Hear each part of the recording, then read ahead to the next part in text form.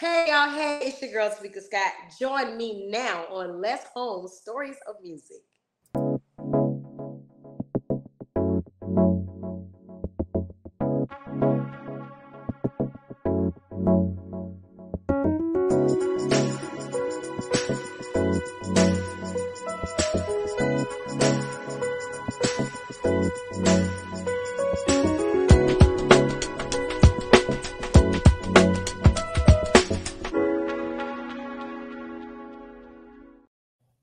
And welcome everyone to another edition of Les Holmes Stories of Music. And I am so glad that you guys could join us today. And I want to give a shout out to uh, my girl Miriam Graham over at Never Stop Entertainment. Thank you so much for your support. I appreciate you so much. Also, this show is powered by Les Holmes Productions. And with us today, we have she she's multifaceted. Um, she's an actress. She's an R&B singer, songwriter. Um, she's a. Okay. Uh, she's none other than Tamika Scott, also with the group Xscape, and she's got some new stuff uh, that she's doing on her, on her own. So thank you so much for joining me today, Tamika. Thank you. Thank you. Thank you for having me, Les. Thank you. That, I'm I'm I'm glad to to to have finally uh, got you on the show. I've been I've been begging for you for a while, just FYI, just so you know. So just so you know. So let's let's jump right into this thing. So you started singing, wow, about four or nine years old, something like that, if I read yeah, correctly. I yes, I when I started singing around four, I sounded a hot mess. So that really don't count. Okay. I was screaming, thinking I was singing. Okay. Okay. My sister, she okay. started singing at the age of two. And she could hold a tune. Like she uh-huh. could uh-huh. like harmonize at mm-hmm. two. So she was a singer at the time. And okay. I used to watch her all the time. Her and my dad, like my dad would play his keyboard and she would just mimic the the runs that he would do and the mm-hmm. sound. And when it came to me, he was like, okay, Tamika, your turn and I mm-hmm. belk out those those notes, and my whole family would just laugh. They'd be like, "Oh God!" it was like one of those laughs. It wasn't like, "Yeah," it was like. but it took me some time, and I just kept practicing until my voice got stronger. Right, and right. I want to say when I was about 13, 12, 13, then my mm-hmm. voice started maturing. I started okay. sounding a little bit better. All right, all right. So here, here's here's something I got for you. See if you remember this. What does um, the year 1992? What does that does that ring a bell for you? Is that is that special for you? The year 1992, or you need something better than that? Um, 92. Uh, uh, well, we'll do this. We'll do this. Teen Summit. Oh wow. yes, Teen Summit. Wow. We we were able to land on BET. It was BET Teen Summit, and they uh-huh. had different acts that came and had to come and audition, and we made it on mm-hmm. one of the finalists on Teen Summit, and mm-hmm. we was just we were so excited. So after being on TV, we went back to school, and everybody was like, "Oh my gosh, y'all famous! Y'all are famous!" But that's it. We were famous because we had, we still had no money. that's all you were is famous, not rich, yeah, but you it, just famous. It, but it was an experience, you know, because you know, as kids, you we watched BET, right, and right, right. just everybody have that dream of being uh, like in the music industry. You have that dream of being on that show one day, and we were finally there mm-hmm. and like surreal. It was surreal. Right, right. So, how is it? Or how was it when when you hooked up? You guys hooked up with with Jermaine Dupri. You got your your your notification that he wanted to meet you guys and all of that. Did did you understand that back then? Who he was, or he was just a guy? It's crazy because we met with a lot of people that were mm-hmm. out Mm-hmm. At the time, we we worked with the boys. I don't know if you remember the boys, but we worked with, with Mr. Jabari, their father. I do. We yeah. went and we met with Keith Sweat. we met with Bobby Brown. We met with a lot of uh, people that were already in the industry. So when we knew that Jermaine, he was a local celebrity, but he was still a he was still a kid. He right, was right. like our age. Right. So they were like, yeah, he does beats and he had this opportunity. He's working with these guys named Kris Kross, and he's gonna be the yeah. next big the next big thing. And we were like, okay, we've done everything. We sung for Dallas Austin. We sung for all these great um, great stars, mm-hmm. and nothing ever came forward from it. So we're like, hey, what what can how, what can this help um her? Mm-hmm. So we went to his birthday party. We sung Happy Birthday, and he was like amazed. It was crazy how he looked at us because we were dressed in our baggy clothes. Back then in the 90s, yeah. it was all about yeah. the baggy clothes, right, big shirts, right. big hats, right. bandanas. When he when we walked in, he probably right. thought we were gang. He probably thought we was gonna rob him because he was looking at us like they sing. Uh-huh. So we was looking like like yeah. So once we, you know, say happy birthday, he was just he just his eyes just lit up. And uh-huh. he was like, I want to work with y'all. He said, right now I'm currently working with um, Kris Kross. He said, but when I'm done with them, he said, I'm trying to get my own label. He said, if that happens, he's gonna sign y'all. Mm-hmm. But we have been promised so many, so many, you know, uh, opportunities that never came to fruition. So it mm-hmm. was like, okay, yeah, yeah. But Kris Kross, they blew up, and he yeah. did. He kept his word. He came back and he signed us as his first act on So So Def 30 years ago. Wow. See how God worked that out? You know, his his timing was was perfect. You know, and and, as as you were talking about, you know, the opportunities that came along, and you you know talked to so many people, you know, and after a while, I mean, I'm pretty sure initially the first person you talk to and they say, Yeah, we're gonna do this, and you're like, Yeah, yeah, yeah, but nothing, nothing ever happened. And and it just everything else is just like, yeah, whatever. Yeah, whatever. Yeah, whatever. But this one came and it and it stuck. So that's that's good. That's good. So what do you think you would be doing if you weren't singing? Well, I would probably be a FBI agent with my own firm by now. Before before signing the contract, I was accepted in Savannah State and I was going for criminal justice because I wanted to be a police officer. You know, my whole family, my father, um, he's retired. My uncle's a sheriff. Uh, my okay. other uncle, he works like I'm just surrounded by law enforcement. Okay. So I was I was already accepted, um, and I would have been an FBI agent for my own firm. Interesting. I didn't expect that. I, you you know what I thought you were gonna say? What? You're gonna be a chef. Oh, I would have been cooking too. I would have been cooking. that comes with it. Okay. Okay. That comes with okay. It. okay. No matter what you be cooking. Okay. All right.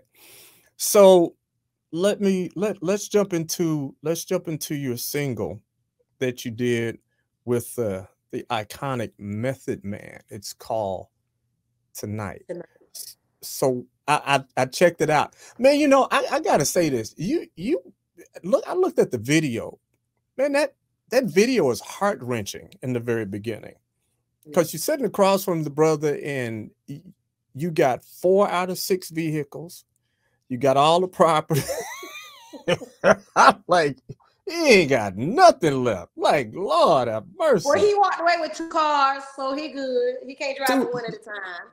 But you got four though. Yes, I did.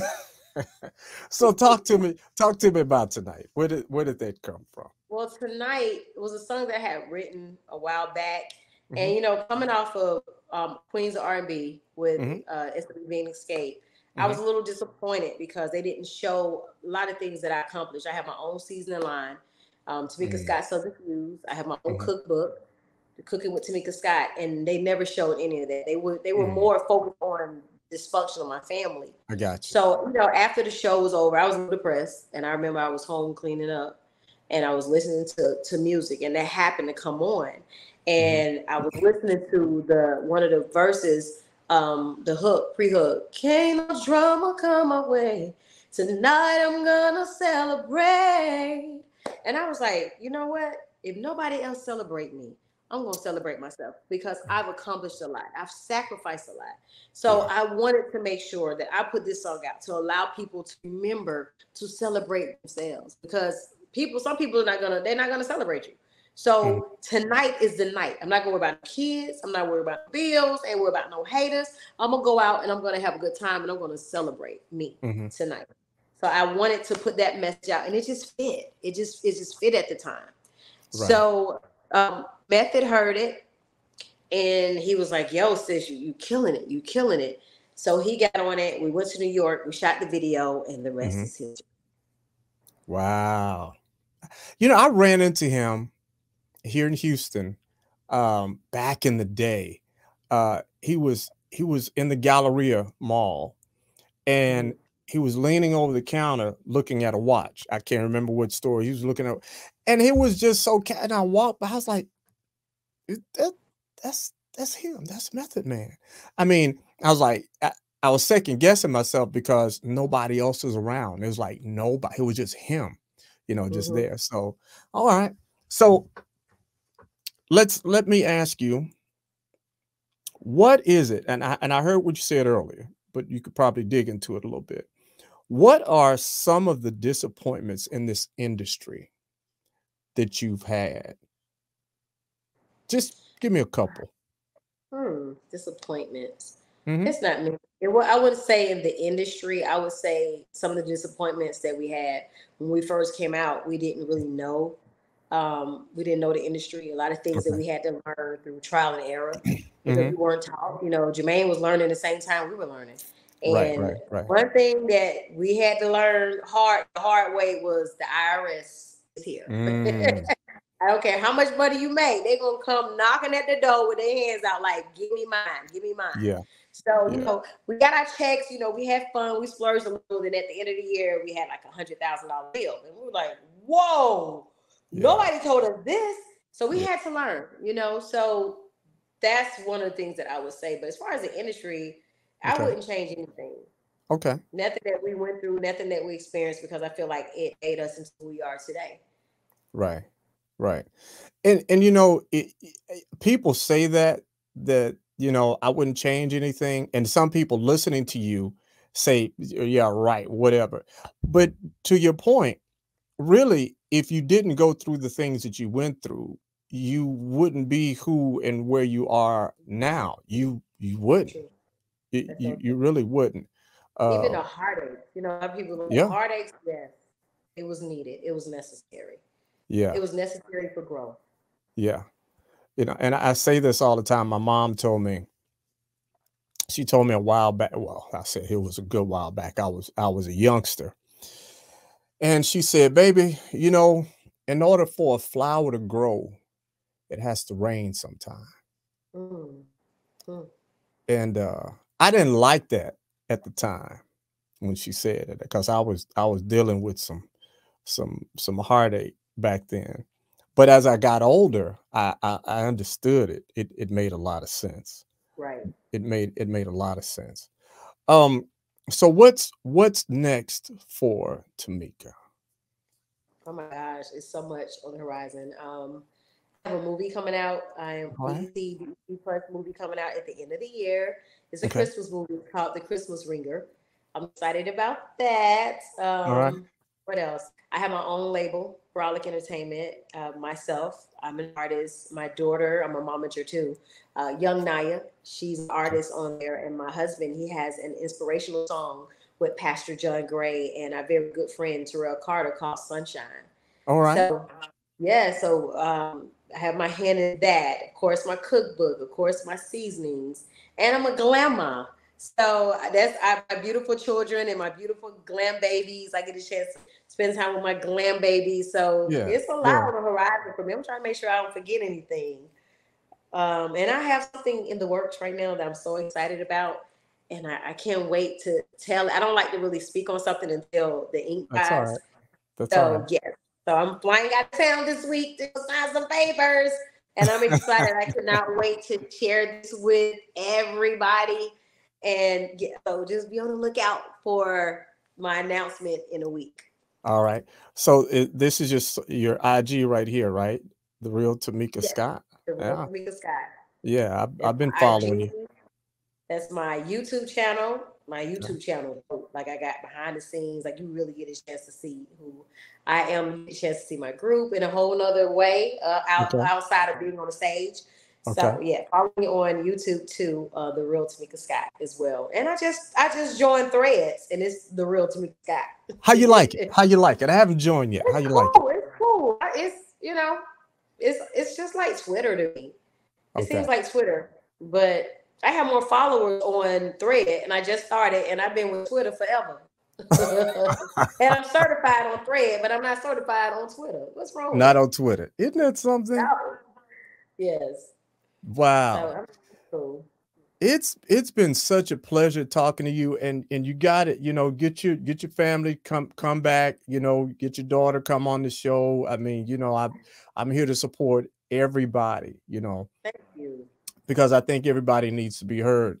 And and with this platform you know you know i come from i come from radio and and that whole industry has totally changed from when i started back in 1982 it's yeah. it's totally changed and you know now we have platforms like this and you know so and people are hearing music that they've never heard before because of platforms like this and your, your right. spotify and your youtubes and your pandoras and all that. My daughter doesn't even listen to the radio. Oh yeah yes i could i could believe that. You know so it, you, she got they have music. Apple Music, like you said, yeah. Spotify. They have their yeah. own playlists. You can you can have your own, put the name in, and similar songs come up. So yeah, I get it. Right, right. And so and so we can we can hear you we can hear tonight on on all those streaming platforms too, correct? Yes. Yes. Please, right. please listen. And you go in your local radio stations, call and request it. Even if you don't listen to the station, just call and request it. Right, right. There you go. There you go. Go ahead and request it because the more requests you get in, they'll they'll be in these big corporations because they got one PD sitting in a, in a tower somewhere directing. But you know, when enough people call, they're gonna have to say, you know what, we need to put this on. We we we got to put it on. So that's that's the way that works. But Tamika, thank you so much. We've got Tamika Scott from from the R&B uh, group uh, Xscape, and uh, make sure you check out her latest single. It's called Tonight, featuring Method Man. I love it. You got to check it out. Thank, Thank you. you so much for for joining us. Thank you for having me. All right, dear. Thank you now.